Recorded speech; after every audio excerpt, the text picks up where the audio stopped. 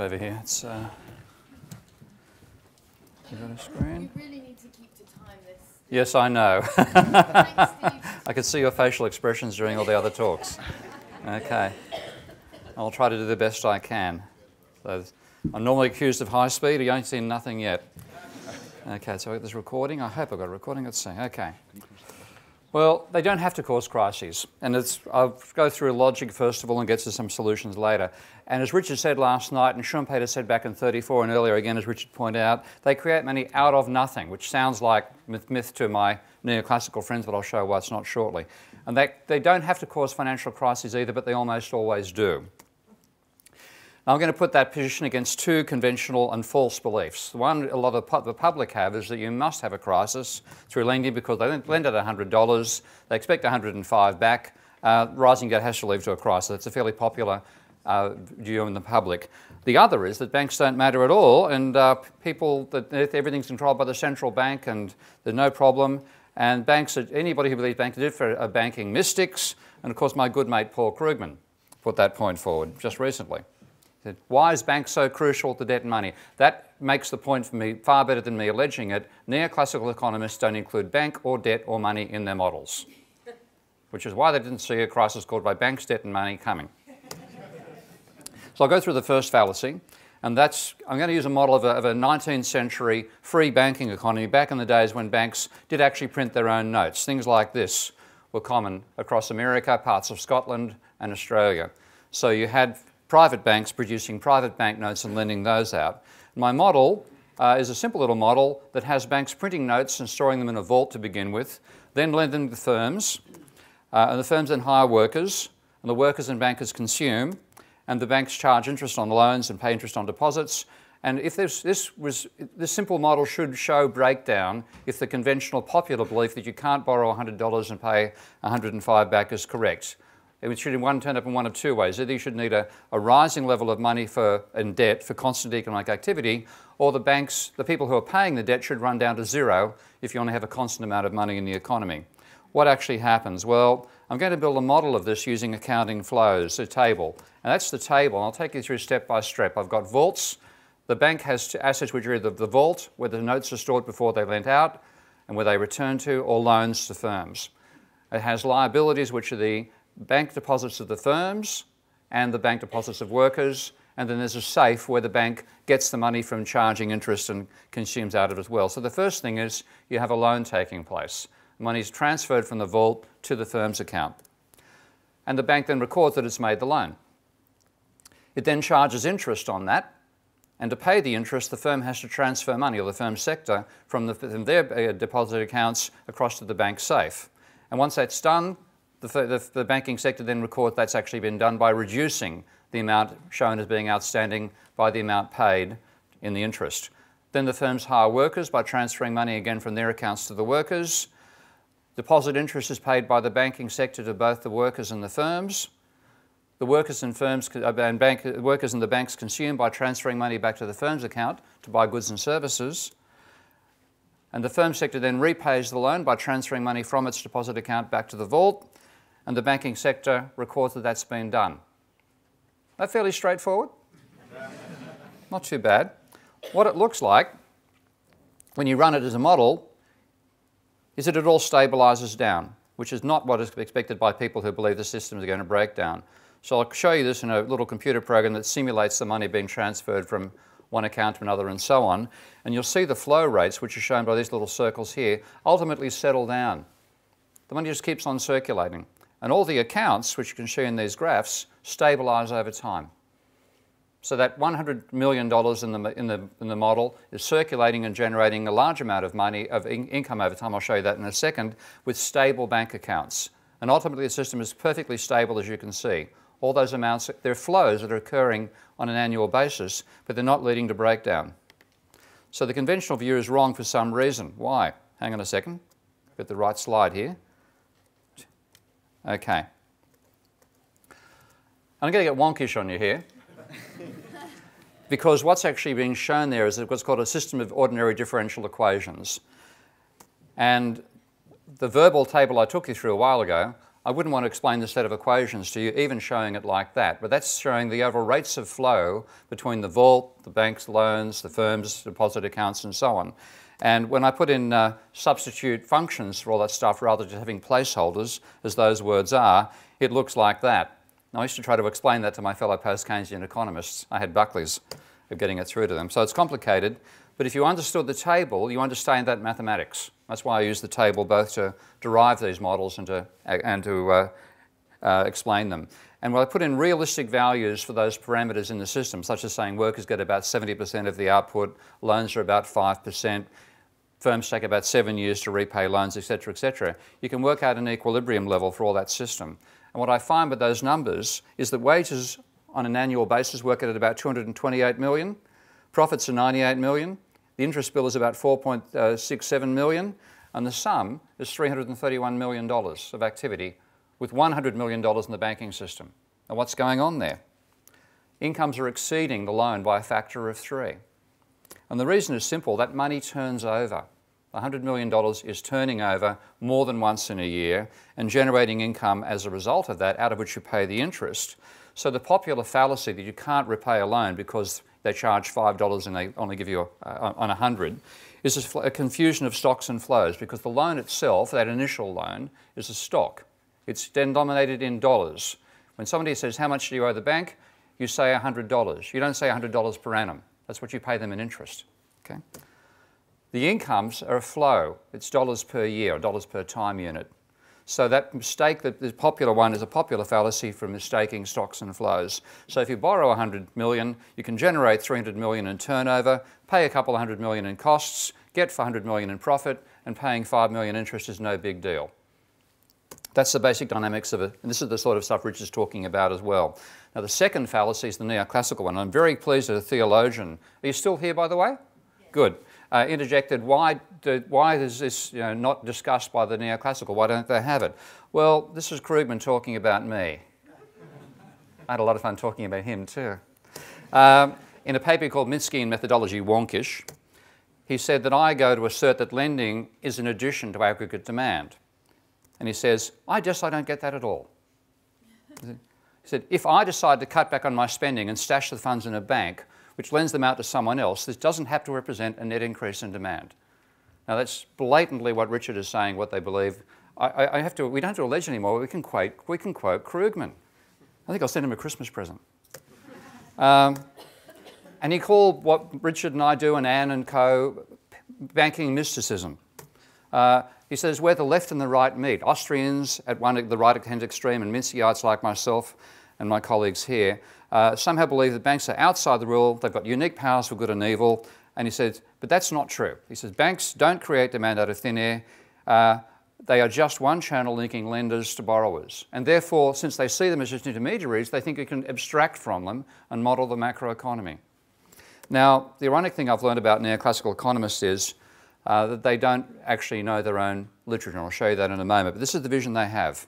Patient lends to impatient. The bank just sits in the middle. Patient spending goes down. Impatience rises. No change in aggregate demand. You can ignore debt and you can ignore banks. That's the logic, the a priori, sitting in the armchair, Jeremy Bentham style logic that means they don't actually think about it.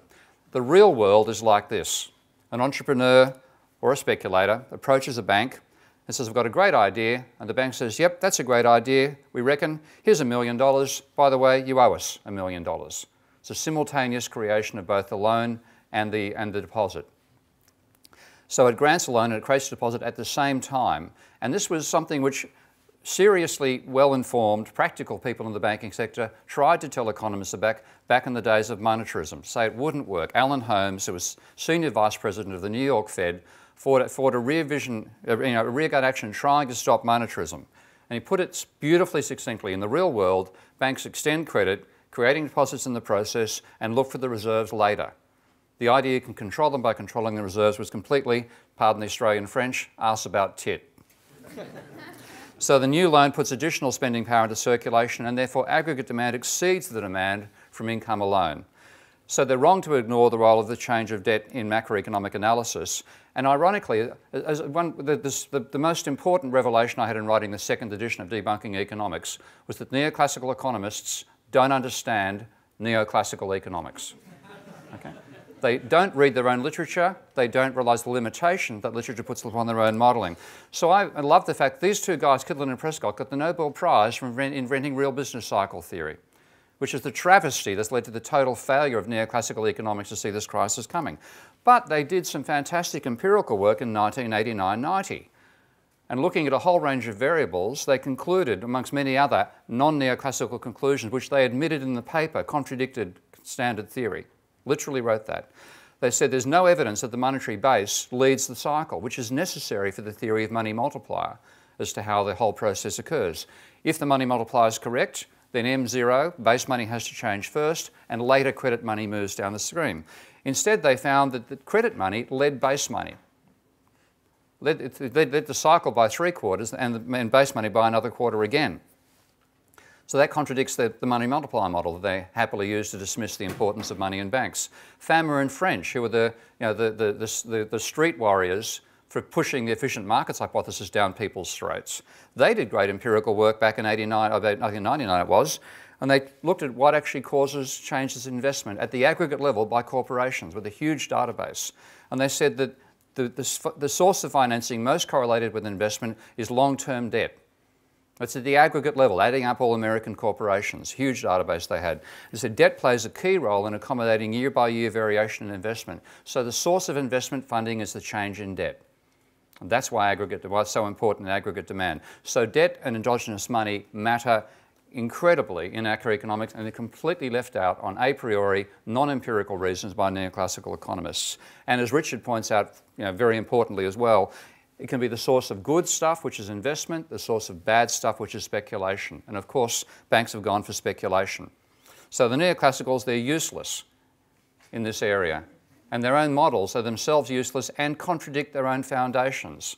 Now, I got abused by Krugman in the page of the New York, or the, the, the web page of the New York Times uh, for characterizing the neoclassical model as being like the old model of uh, Ptolemaic astronomy where everything was seemed to be circular motion. And then to actually make it fit the reality that the planets would therefore reverse direction around the Earth if that were so, they added epicycles on the main, the main deferent cycles. This is not me saying these current quotes here. Have a guess who it is. The preferred model has a single agent optimizing over infinite time with perfect foresight, rational expectations, uh, flawlessly realizing that through perfectly competitive forward-looking markets for goods and labour, blah, blah, blah. How could anyone expect a sensible short to medium macro to come out of that setup? It was Robert Solow. He's been screaming at these guys for a decade or more, saying what you've done is totally nonsensical. You can't do macroeconomics this way, and they've ignored him. It's not just me being put down by these guys, it's Robert Solow being ignored as well which is ironic given his role in the capital controversies. Though I will admit, at least he joined the debate. And then he talks about the epicycle editions by the uh, new classical, by the new Keynes. I think they're so different. I had one of these, and he's a nice bloke, Mark Thoma, I must say. I enjoyed meeting Mark in Berlin. I think I've got a chance for dialogue with him, which is tremendous. I do want to have dialogue. But um, they got really angry when I said they're related to the real business cycle mob by adding on frictions and so on. Well, this is Robert Solow saying the same thing. The basic model has perfectly smooth motion. The new, the new Keynesian model adds in little wobbles and frictions to try to get the results that fit the data. So you see, he actually calls them freer spirits than the real business cycle, which will really annoy them, school. He said, it then sounds better and fits the data better. Well, duh, intelligent economists chose these numbers to make it fit the data better. Not because it explains it any better. Again, it's like epicycles on the Ptolemaic vision of how the uh, solar system works. Now, Solow pointed out one of the major reasons why these guys can't be trusted, not knowing their own literature.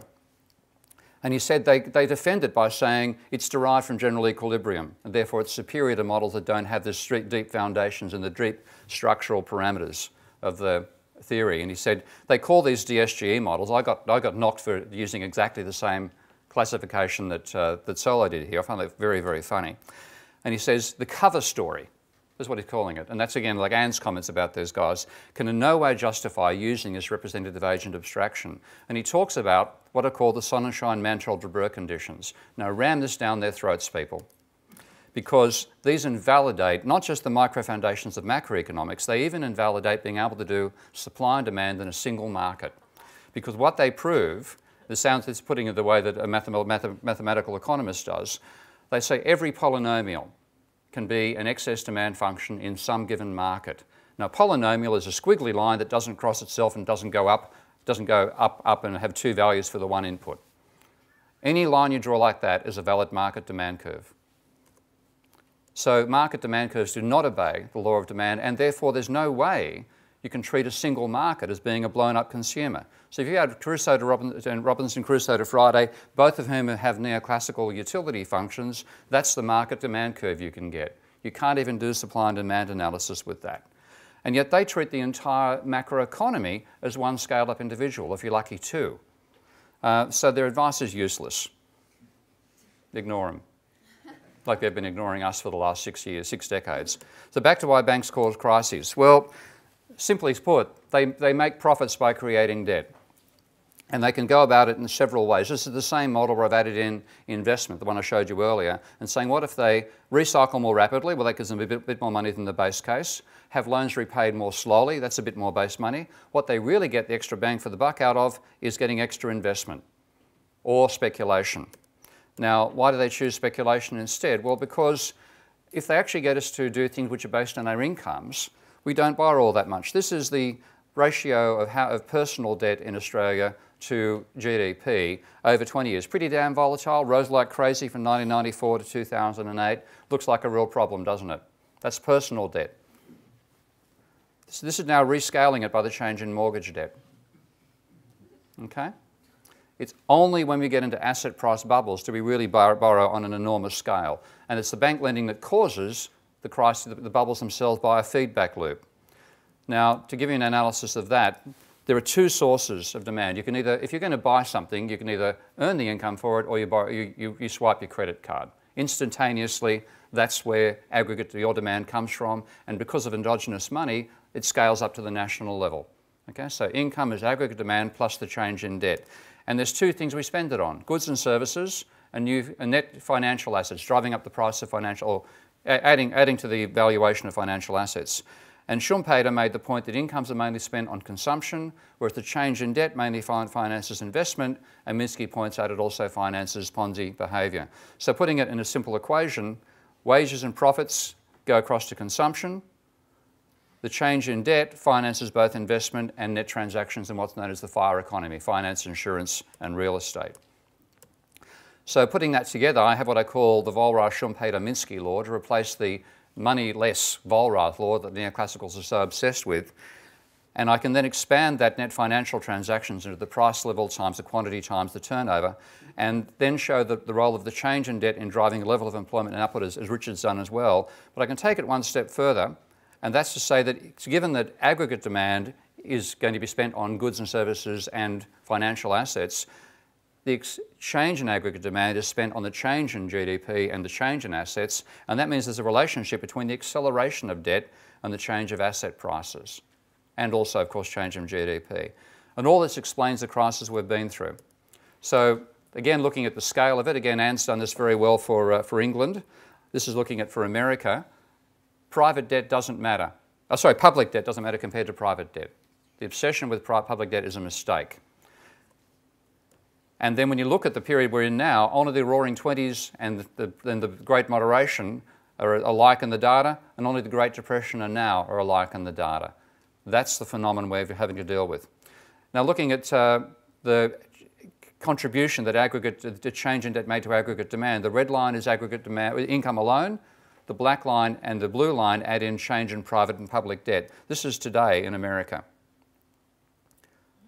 A far bigger scale, but a far faster reversal of the process by the growth in government debt. Look how much bigger the gap is between the blue and the black line in that previous simulation. Now looking at the acceleration of debt and the relation to change in employment.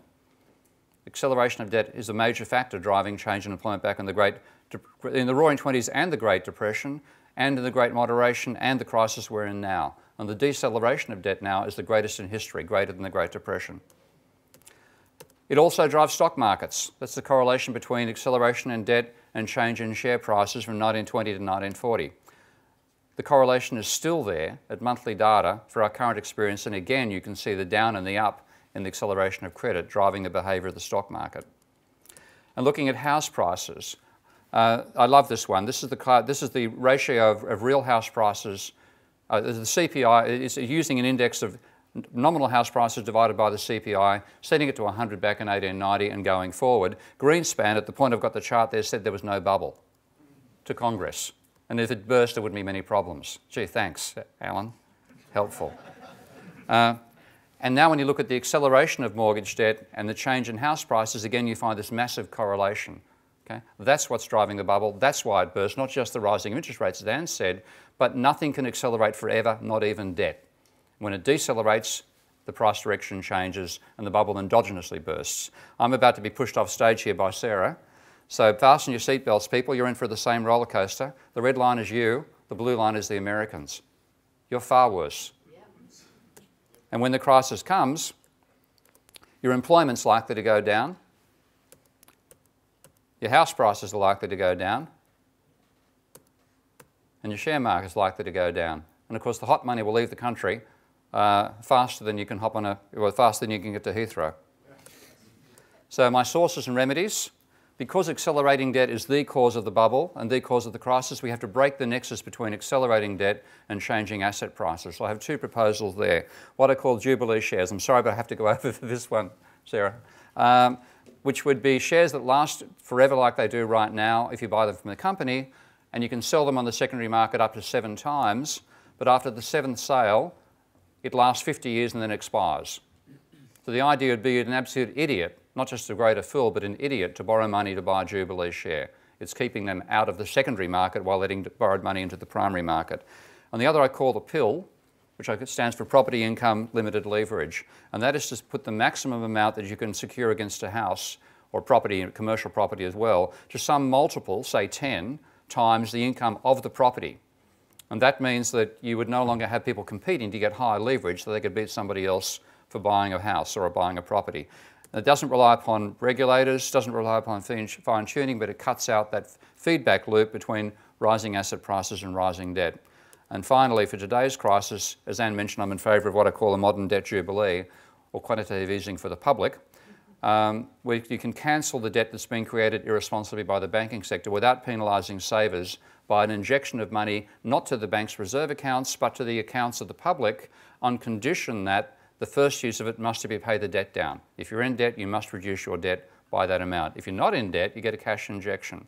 Now that ended up benefiting, not penalising either side of the saver borrower equation, but squeezing the banks because, of course, their income earning assets would fall, their non income earning assets would rise. So that's the proposal I have there, and that's it. Thank you.